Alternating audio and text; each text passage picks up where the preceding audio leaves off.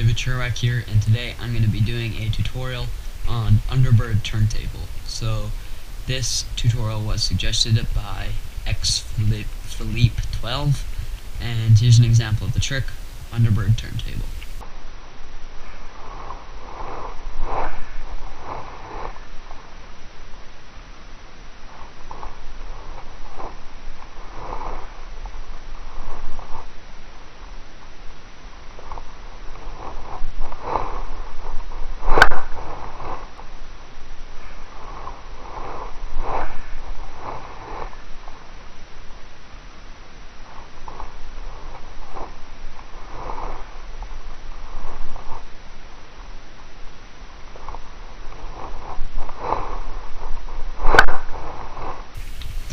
Alright, so there was an example of the trick. So before you start this trick, I suggest that you go back and watch the tutorial that I did last week, which was just a tutorial for swing underbird. So make sure you watch that and you're comfortable with underbird and the stall, and just really comfortable with how it feels and how to pull up to it. So check that out last week if you haven't already.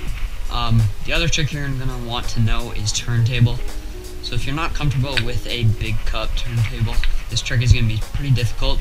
So learn that first. There's probably lots of tutorials on YouTube on it, so check that out. I think I might have a tutorial as well. So learn turntable and obviously learn underbird because that's what the trick is, those two tricks put together. So let's just get right into this trick. So this is a pretty advanced trick, so don't expect to learn it super quickly. But first, you're going to need a Dama that you think is really good for stalls, so get your most honed Dama for stalls. Um, make sure to lick that bevel, that will definitely help. But let's get into this. So the first and most important thing, I think, is the grip. So before, when you pulled up to normal underbird, you just held the Ken. Crap, got a knot in the string or a tangle. Um, you just held the Ken normally in the normal underbird kind of grip. Um, but when you pull up to turntable underbird, you're going to need to do it differently. So for the first underbird, you did it kind of like this with your hand down further on the Ken so the tongue wouldn't touch your fingers. Um, what I do is it's kind of a really weird grip. What I do is I put my two fingers, my pointer finger and my middle finger on the small cup because that's how I do turntables. I usually just, I put those two on and then I spin with my pointer finger it spins on my pointer finger. Not sure that if that's how everyone does it, but that's how I do it. So put those two fingers there, and then the rest of your fingers, kind of thumb goes there, and these fingers kind of rest right here. So that means when you pull up to border balance, as you can see, it's not touching any part of my hand or my fingers. And I've got my thumb there, my fingers in border, or not border balance, um, turntable position, ready to do the turntable. So just practice this position and pulling up like this. It's a lot different um, from the normal position, so just get really comfortable with it. Um, so get comfortable with this pull-up and balancing the bird in this position with your fingers back here. Um, and as you can see, like I said, it's not going to touch any part of your finger if you're doing it right. Um, next part is you're going to want to make sure that the the stall is really like locked in. Um, you can kind of feel when it's locked in You can kind of give it a little feel like this. Um, make sure that it's really locked in, and there's no really way to explain it, just you can kind of feel it. So um, you can tell when it's like a good one and when it's not. So um, that was a good one. As you can see, it just stayed there, it was locked in. Um, but just feel around with it. And the one other thing before you actually do the turntable is you kind of want to make sure that the Tama is straight onto the uh, cup, you don't want it slanted anyway like this, because that's going to make it a lot harder for the turntable. It's going to slip off a lot easier. Um, so make sure that it's straight. And actually the last thing, make sure that the underbird isn't vertical like this, or like pointed downwards. Kind of make it horizontal like this. So that's what's going to make the turntable the easiest when you're learning it, is because obviously on Big Cup, when you do a turntable, it's more horizontal.